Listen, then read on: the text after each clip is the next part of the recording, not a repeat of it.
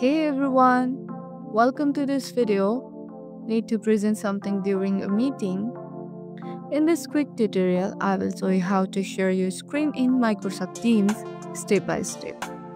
Let's jump in. First, open Microsoft Teams and join a meeting or start a new one from your calendar. Once you are in the meeting, look at the top right or button toolbar. Depending on your layout, click on the share icon. It looks like a rectangle with arrow inside. A panel will pop up with sharing options, screen, share your entire desktop, windows, share a specific app or window, choose what works best for your situation and click on it. When you are done, simply click the stop sharing button from the toolbar and you are back. And that's it. You have now shared your screen in Microsoft Teams like a pro.